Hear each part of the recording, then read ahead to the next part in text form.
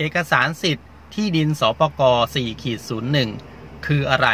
นะครับ เอกสารสิทธิ์สปก4ขีด01 ซึ่งเป็นครุฑสีแดงหรือครุฑสีน้ำเงินเนี่ยนะครับ ก็คือเอกสารที่เขาให้ประชาชนสามารถเข้าทำประโยชน์ ในเขตปฏิรูปที่ดิน เป็น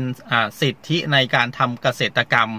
และจัดที่อยู่อาศัยในที่ดินเพื่อเกษตรกรรมนะครับ เจ้าของเนี่ยมีเพียงสิทธิ์ในการครอบครอง เพื่อใช้ประโยชน์ในการเกษตรเท่านั้นนะครับ ไม่มีสิทธิ์ในการ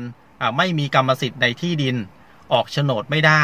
ห้ามซื้อขาย ห้ามโอน ขายสิทธิ์ให้คนอื่น ที่ไม่ใช่ทายาทของเจ้าของสิทธิ์ และหากทายาทได้รับเป็นมรดกตกทอดไปแล้ว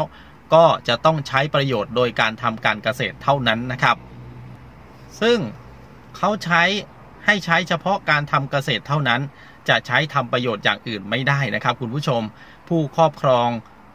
ทำประโยชน์ในที่ดินสปก4ขีด01 เนี่ย จะต้องมีฐานะยากจน และเขาจัดสรรให้ครอบครัวละไม่เกิน 50 ไร่ สามารถโอนได้ แบ่งแยกได้ มรดกตกทอดได้ ภายในครอบครัวตามเงื่อนไขที่เขากำหนดนะครับ และห้ามซื้อขาย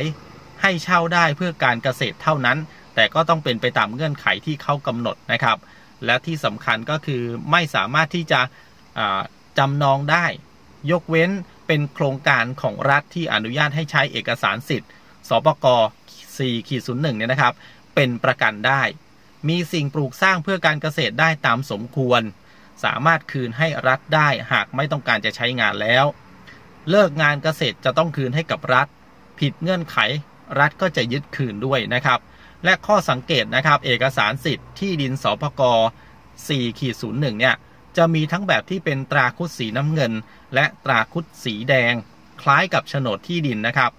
สังเกตง่ายๆก็คือที่ดินสปก4ขีด01ครุฑแดง ข้อความที่หัวเอกสารสิทธิ์ก็คือหนังสืออนุญาตให้เข้าทำประโยชน์ในเขตปฏิรูปในเขตปฏิรูปที่ดินนะครับ ส่วนโฉนดที่ดินนส4ครุฑแดงเนี่ย ข้อความที่หัวเอกสารสิทธิ์ก็คือโฉนดที่ดินนะครับ